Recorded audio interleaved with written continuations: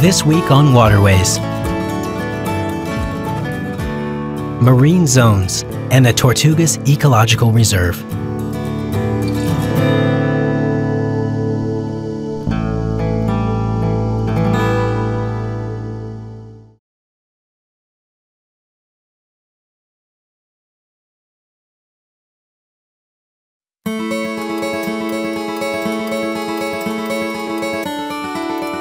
The Florida Keys.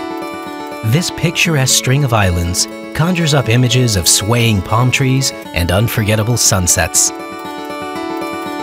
Yet it is most famous for the attractions beneath the waterline. The Keys are home to the world's third largest and North America's only barrier coral reef. Novice snorkelers and experienced scuba divers come from around the globe to discover the awe-inspiring beauty of the Keys Reef, which stretches from north of Key Largo west through the Dry Tortugas. The coral reef ecosystem,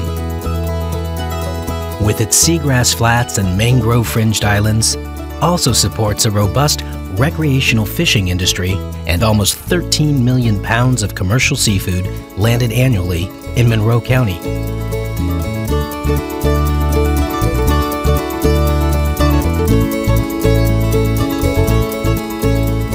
Waters are diverse, abundant, and seemingly limitless. But a calm sea can often hide trouble below the surface. Despite the aura of endlessness, the waters of the Keys are fragile, finite, and they have a long history of human influence. The Keys have changed immensely over the past century. To accommodate trains and later, cars, island passes were filled and new islands were created, literally reshaping the Keys. To satisfy demand for waterfront property and accommodate a growing population, more than 124 miles of canals were dredged from the islands, a length almost as long as the entire overseas highway.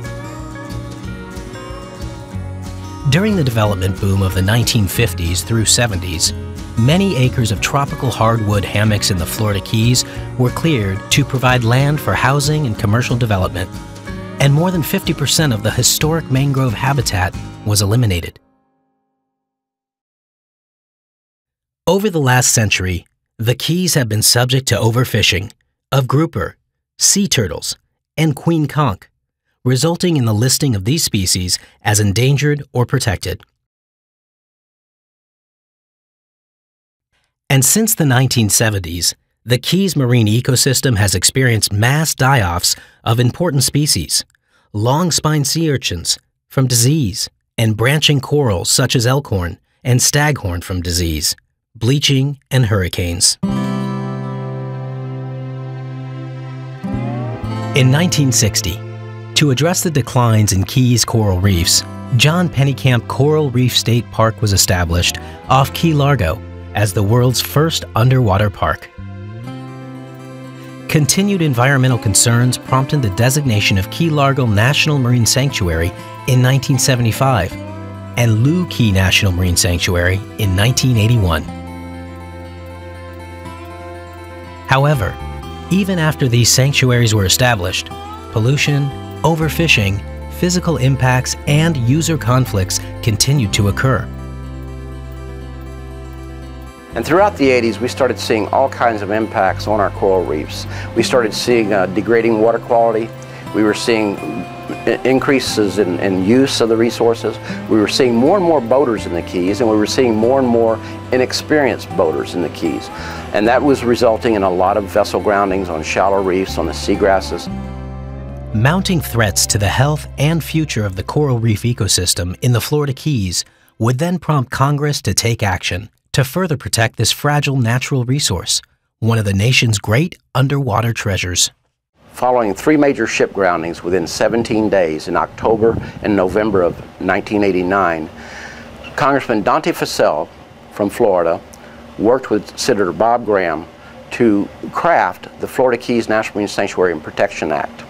And in November of 1990, President Bush signed into law the first congressionally designated sanctuary the Florida Keys National Marine Sanctuary. This new sanctuary incorporated the pre-existing Key Largo and Looe Key sanctuaries to protect 2,800 square nautical miles of spectacular, unique, and nationally significant marine resources.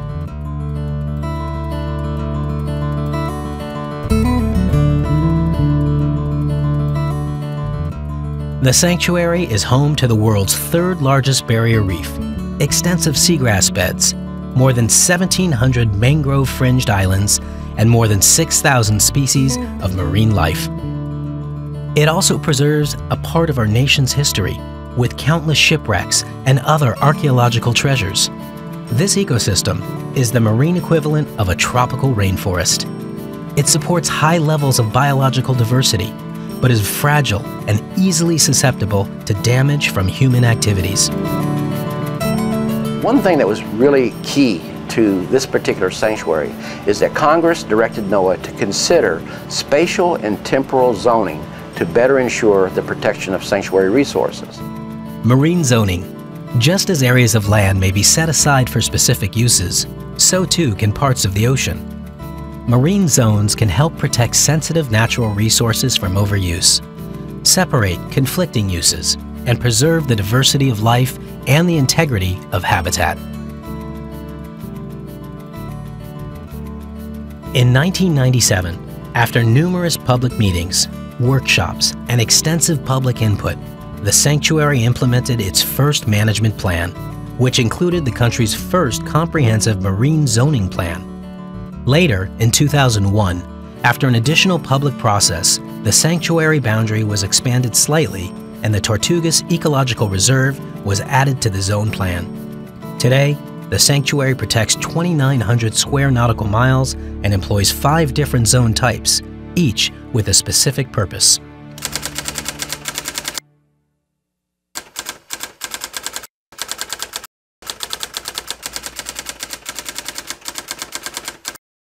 Our sanctuary preservation areas are our smaller zones.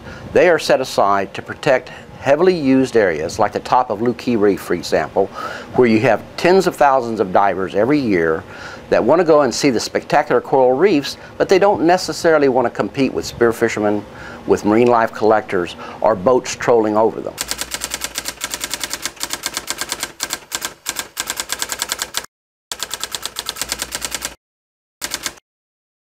The second type of no-take area are the research-only areas. This is a special uh, marine zoning type that we've established in this sanctuary to set aside areas for research, research only.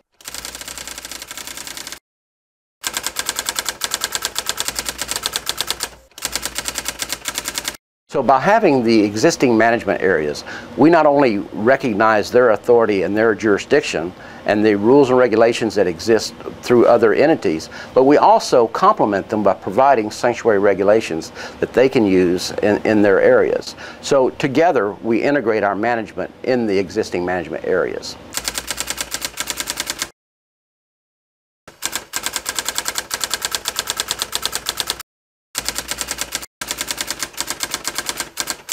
The wildlife management areas. Bird rookeries, bird nesting areas, turtle beaches. There are some really special resources surrounding the Florida Keys. What we have done with the wildlife management areas is set a buffer around many of the islands where most of them are uh, restricted as far as vessel use.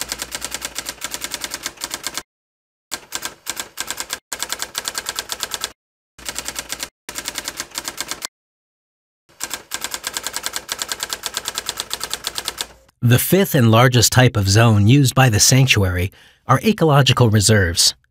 Ecological reserves protect an entire range of marine habitats, protecting natural spawning, nursery, and permanent residence areas needed for sustainable population of marine life and the coral reef community.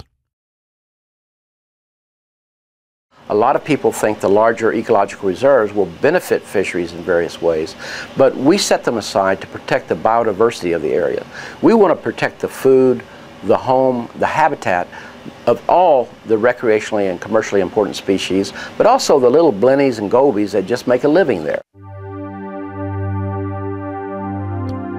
Parceling areas of water for specific uses is a task not taken lightly or quickly. The creation of new conservation strategies and marine zones takes place through a public process that can take years.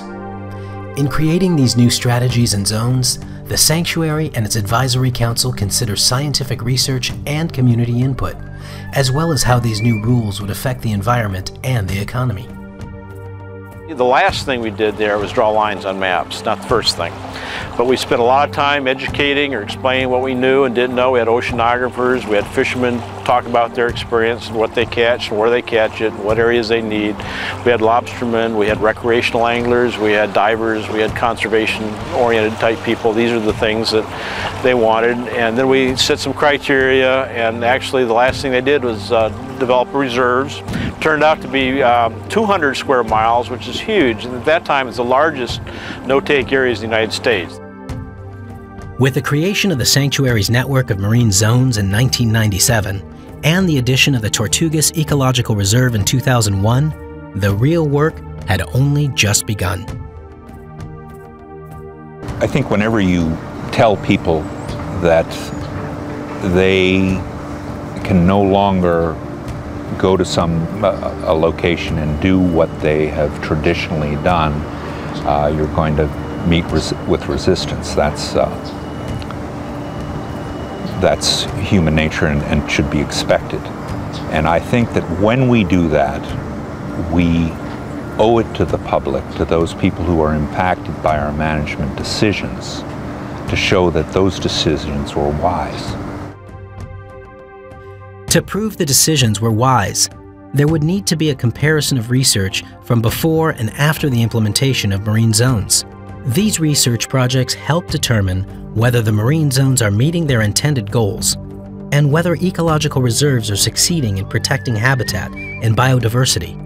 Some zone monitoring projects compare how much coral is present inside and outside a marine zone and how that level has changed over the years. Other researchers look at reef fish and how their size and population might differ inside a zone or outside. Results from these studies help sanctuary managers understand how to better utilize marine zones to protect the special resources of the Florida Keys. Coral reefs are integrated ecosystems that depend both on fish and, and how much seaweed that they eat and the predators that eat the organisms that live on the bottom, as well as the actual animals and plants that live on the bottoms themselves. The balance between the amount of coral that's out there, the amount of seaweed, and the amount of bare, bare space is telling you about the health of the reef. The good news is that the amount of seaweed, which is on the bottom in the Florida Keys National Marine, Marine Sanctuaries is actually quite low, and it's among the lowest around the Caribbean. And that is probably because of the protections that are afforded to fish that eat those seaweeds, particularly two kinds of fish called parrotfish and surgeonfish. The results that, that we've been coming up with and, and the results from other studies that are running in tandem with ours are telling us that the Florida Keys National Marine Sanctuary is effective. It's got more fish and less seaweed than a lot of places around the Caribbean, and that is a perfect concoction to recover the corals in the Keys Sanctuary, and in particular in the marine protected areas within the Keys. Coral reefs, because they are slow growing and affected by so many factors, take longer to show a response to marine zone protection. Fish, on the other hand, respond more quickly to protection. And through long-term monitoring, scientists have been able to more quickly detect changes in their populations. Much of this research has been focused on the sanctuary's crown jewel. The Tortugas Ecological Reserve located more than 70 miles west of Key West, is separated into north and south. Entrance into Tortugas South is limited to permitted researchers, and access to the Tortugas North is controlled through a simple, no-fee permit.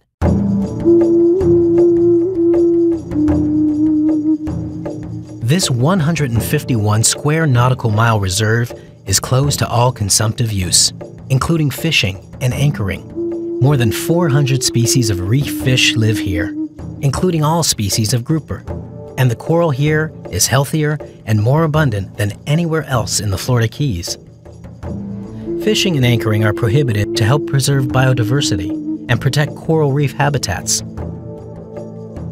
the marine reserves, it's an ecosystem-based management approach. You're trying to not just address one, one fish species or one coral species. You're trying to improve the, the health of the whole ecosystem by, you know, taking the pressure off, off that area and giving it a chance to function like it, like it would if it was left on its own. Since 1999, two years before the reserve's establishment, scientists from the University of Miami and NOAA's Fisheries, and more recently, the Florida Fish and Wildlife Conservation Commission, have been conducting surveys of Tortugas reef fish to study how zone protection affects certain fish. Together, scientists have undertaken thousands of scuba dives to collect information on reef fish size, species, abundance, and habitat preference. The Tortugas Ecological Reserve has had, had quite uh, dramatic impact on, on the diversity of fishes. This is most obvious in those uh, fishes that are heavily exploited. Um,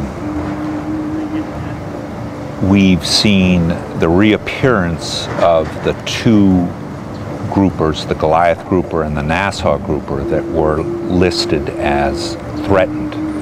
Uh, both of those have reappeared in our counts. Uh, we've seen a number of other species that were rare uh, are now relatively common.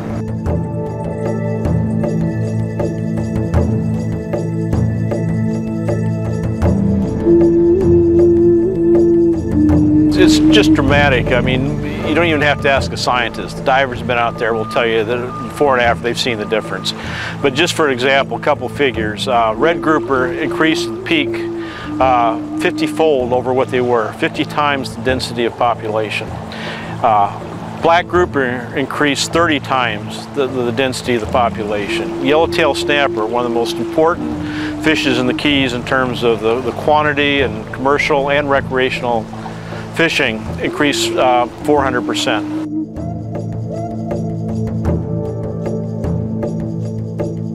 The Tortugas Reserve, not only the Tortugas Reserve, but the entire Tortugas region is important to South Florida uh, and the Florida Keys because it's, uh, it's an, because of its location. It's upstream from the rest of the, our, the Keys uh, and, and Miami and the, the, east coast of Florida. So it's important for recruitment purposes because water all flows from from west to east in this region. Uh, it's considered a very important source uh, of fisheries recruits to the rest of the South Florida area. The gathering or aggregating of fish for spawning purposes makes them easy prey for anglers. Over time, fishermen have learned to time their trips to those lunar cycles when fish gather, sometimes by the thousands. Catching fish during a spawn can be like shooting fish in a barrel. Over the years, Tortugas anglers began reporting declines in the once abundant aggregation of species like mutton snapper. These reports contributed to the protection of the Tortugas Ecological Reserve and the spawning grounds of Riley's Hump. Scientific surveys would confirm that aggregations had been depleted, but they began to document how reserve protection would affect and hopefully benefit these fish aggregations. So visual surveys had showed that the aggregation had um, had been significantly uh, depleted, if not had ceased to exist. Um, they were seeing, uh, you know, single fish, solitary fish, tens of fish in the early, in, the, in around 2000, when they should have been seeing thousands and thousands of fish out there. In 2009, eight years after the Tortugas Ecological Reserve was created, scientists observed a long-awaited sight the first scientifically documented mutton snapper spawning aggregation at Riley's Hump. We were out there doing the surgeries on the bottom when one afternoon um, there was just thousands of fish. But uh, other researchers had been going out to Riley's Hump and monitoring the population of, of spawning fish at Riley's for a number of years and had slowly seen an increase from 10 to hundreds of fish at a time. But um, this summer we, we estimate somewhere around 4,000 fish were, were gathered out there to spawn. And since then, we've seen dramatic increases in, in uh, adult fish all throughout the Keys in South Florida. And I think that's partially attributed to uh, these no-take areas, protecting the spawning aggregations, mainly at Riley's Hump, but also we also uh, increased the uh, minimum size limits in a period of time, and we, which allowed some of these fish to, to grow larger and, and reproduce. And we reduced the bag limits, how many people could take. So all these in, in total really result in a very successful increase in production of fish. So there's actually more fish for people despite these regulations. I think it would be safe to say that the, the, the Keys and fishermen in the Keys would directly benefit from spawning events in this marine protected area.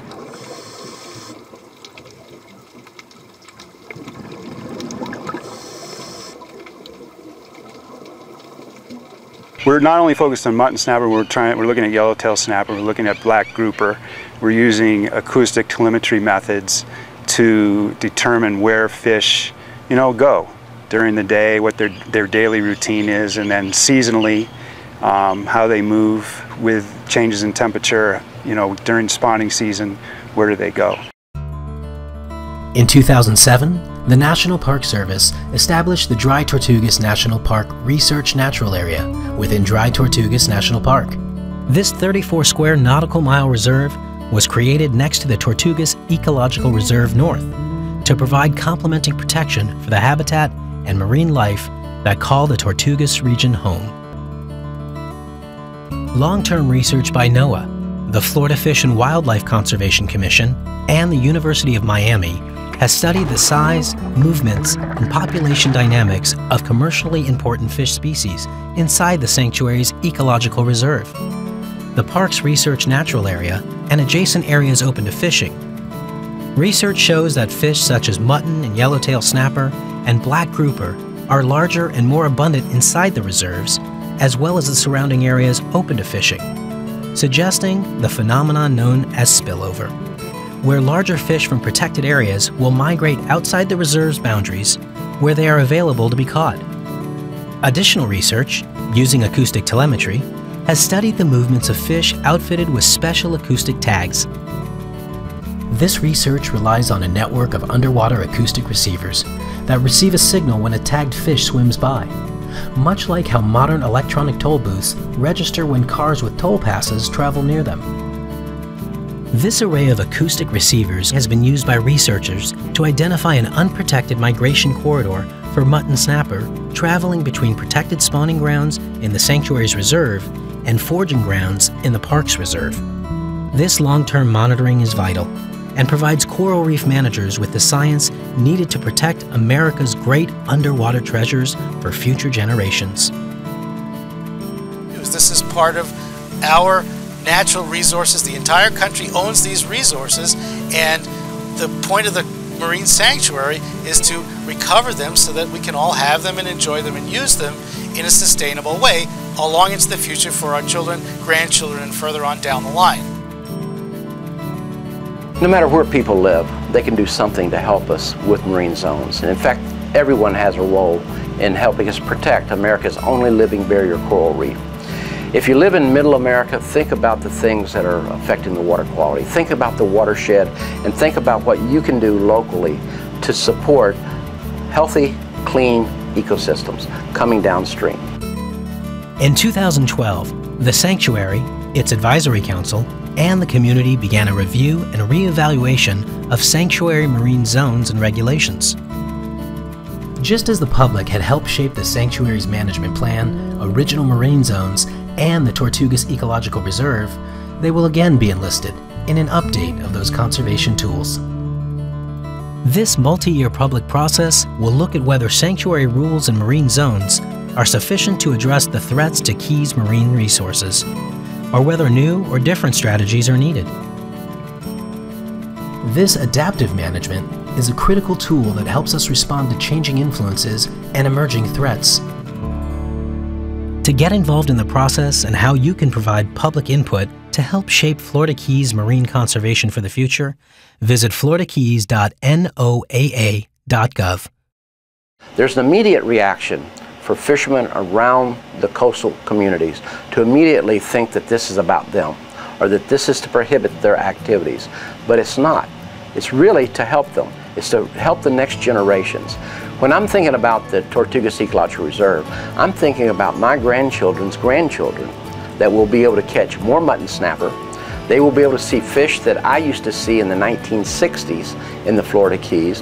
They will be able to see environments like I enjoyed as a child once again.